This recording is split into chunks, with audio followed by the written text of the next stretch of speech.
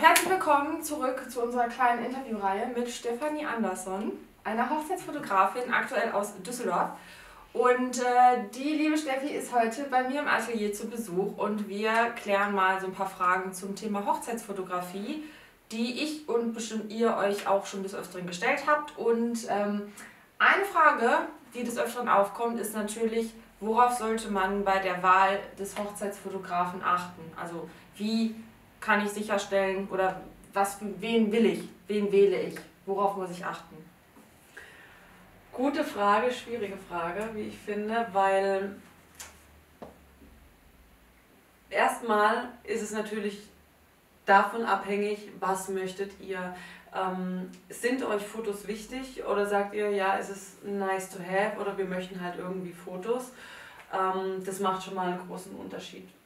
Und ähm, wenn ihr sagt, ja, uns sind Fotos super wichtig, dann sollte man auf jeden Fall auch als allererstes mal sagen, ich stecke mir ein Budget und sage, okay, gute Fotos haben eben auch einen Wert und deswegen brauche ich auch ein bestimmtes Budget, das ich da investiere in gute Fotos.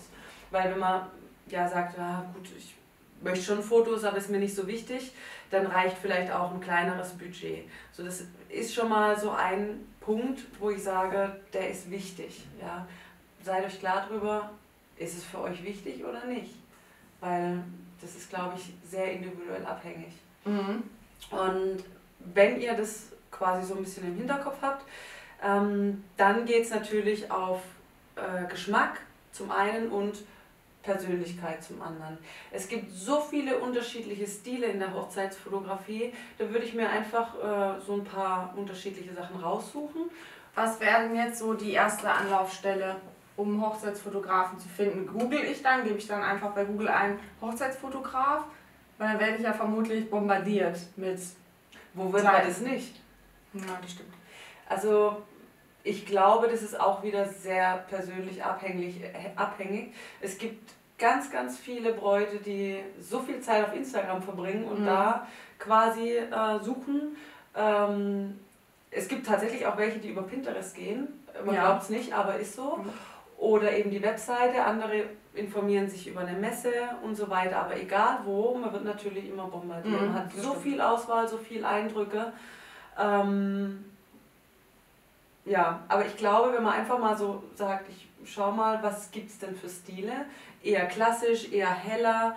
Wie schaut die Bildsprache aus? Wie wird fotografiert? Ist es eher so ein Reportagestil, wie ich den mache? Ist es eher gestellt? Ist es eher so ein bisschen ein älterer Stil?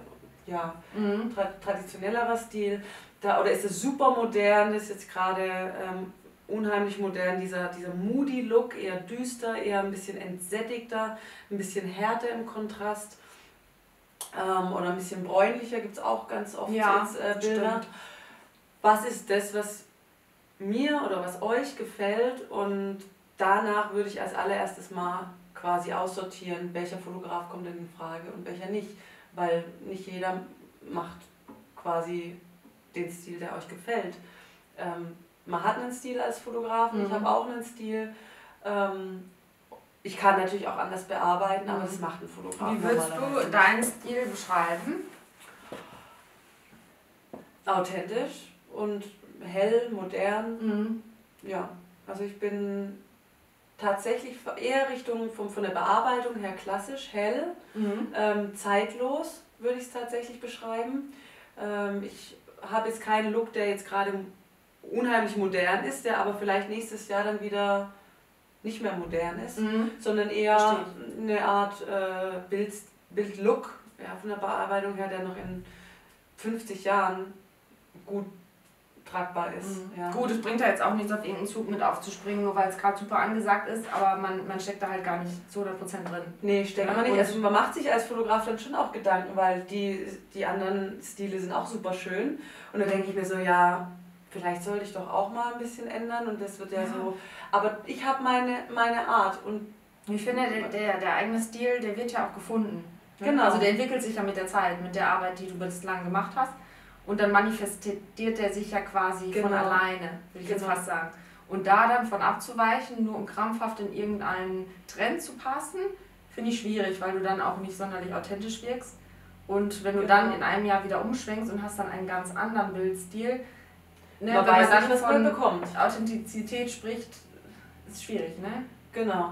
Also man macht sich einfach Gedanken, weil die anderen Bilder sind halt eben auch schön, aber man muss sich halt wirklich bewusst werden, passt es zu mir, bin ich Mhm. das und, und möchte ich das auch noch so in zwei, wie du Ja. sagst, in zwei, drei Jahren machen. Und da wären wir auch beim nächsten Punkt, ja. Ähm, schaut dann auch, hat der Fotograf einen konsistenten Bildstil, eine konsistente Bildsprache. Wenn der auf seiner Website oder auf Instagram ähm, einmal hell, einmal dunkel, einmal ja, also unheimlich unterschiedliche Bildstile äh, präsentiert, dann ist entweder was faul, weil er zum Beispiel also ganz viele äh, Neueinsteiger äh, gehen auf Workshops, machen diese Workshops, sie bekommen quasi ein Paar gestellt, es ist schön gestylt, ähm, Lichtsituation wird alles vorgegeben und selbst die Bearbeitung hinterher wird auch noch gemeinsam gemacht. Man Mhm. nimmt dann quasi den Bildstil mit von dem, wo man einen Workshop gemacht hat, dann geht man in den nächsten Workshop und dann wird wieder was anderes und ähm, kann wahrscheinlich die Retusche selber noch nicht so und da gibt es auf einmal einen Qualitätsabfall in den Bildern und das ist dann ganz unterschiedlich so von der Qualität und der Bildsprache her. Ähm, das sind Leute, die oftmals noch nicht so viel Erfahrung haben, Anfänger, Hobbyfotografen, ähm, die eben noch auf der Suche sind und wem Bilder wichtig sind. Ich sage nicht, dass die schlecht sind, Mhm. aber wem Bilder wichtig sind, der sollte schon darauf achten, weil ähm, da, das ist schon so ein bisschen ein Indiz, für mich zumindest, wo ich sage, der hat sich noch nicht gefunden. Ich weiß nicht, als Brautpaar oder als Kunde, bekomme ich jetzt das Helle bekommst, oder ne? das Ja, Dunkle? okay. Ja. Deswegen finde ich das äh, schwierig zu bewerten. Also das wäre für mich ein wichtiger Punkt äh, jetzt bei der Suche vom Hochzeitsfotografen, Mhm. dass man das äh, eben beachtet. Mhm. Und äh, für mich und das, was ich auch am meisten meinen Brautpaaren sage, äh, als wichtig, einer der wichtigsten Punkte, abgesehen von dem Bildstil, der natürlich äh, gefallen sollte, das ist natürlich äh, Grundlage, so oder so, Mhm. ähm, versteht euch mit dem Fotografen. Also ihr müsst den nicht heiraten, ihr müsst auch nicht Best Buddy werden, aber wenn ich eine Hochzeitsreportage mache, die fangen am Wochenende bei sechs Stunden an in der Saison und sechs Stunden sind sechs Stunden, ja, getting Mhm. ready bis äh, abends oder mit Feier, ja, 14 Stunden. Ich habe viele Hochzeiten, die 12 bis 14 Stunden gehen. Das ist Zeit.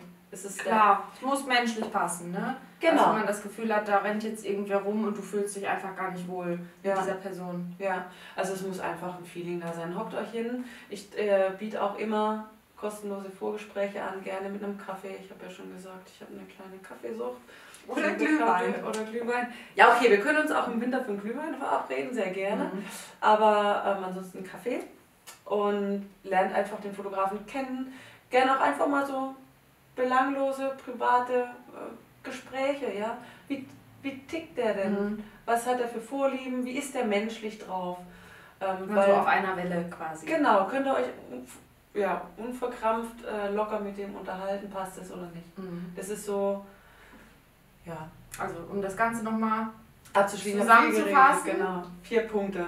die Budgetfrage Ja, sollte man klären. genau. Wo, ne, wie wichtig sind dir, also, beziehungsweise was hast du an Budget für deine Fotos? wie wichtig, Wie sind wichtig sind dir Bilder? Genau. Ne? Ähm, Bildstil finden. Was für ein Was, Bildstil genau, möchte was ich gefällt dir? Was möchtest du am Bildstil haben? Wie Genau, professionell ist der Fotograf? genau, Und passt, Passt es. das menschlich? genau, passt es. Okay. Ja, Also also, kann ich nachvollziehen. ja, also ein, ein, ein ähm, ansässiger Fotograf um die Ecke, der da schon 20 Jahre Mhm. ist, der alles bedient, der kann Hochzeiten, also rein logisch, der kann Hochzeiten trotz seiner Erfahrung nicht so gut fotografieren wie jemand, der sich wie ich auf Hochzeiten spezialisiert hat. Weil ich mache nur Hochzeiten. Mhm. Ja? Ich lerne jedes Mal dazu, ich entwickle mich. Ich, ähm, Aber man weiß ja dann auch vielleicht nach einer Zeit, was das kann passieren. Muss nicht passieren, aber was kann schiefgehen? Wie kann man dem vorbeugen? genau. Oder wie kann man dann das Ganze, ne? Du bist ja Profi, auch in stressigen Situationen kriegst du dann nicht auf einmal Panik und sagst, um Gottes Willen, ne, jetzt ist alles hin, sondern wie kann ich trotzdem professionell äh, mit der Situation umgehen und wie kriege ich das bestmögliche Ergebnis hier raus. Genau. Okay, interessant. Ja, das ich wären so meine Tipps. Sollte man sich mal Gedanken drüber machen.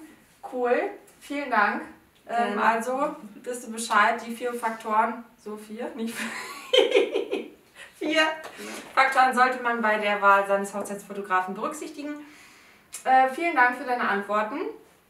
Wenn euch das Video gefallen hat, dann lasst uns doch gerne ein Like oder einen Kommentar da und wir sehen uns beim nächsten Mal. Tschüssi. Ciao.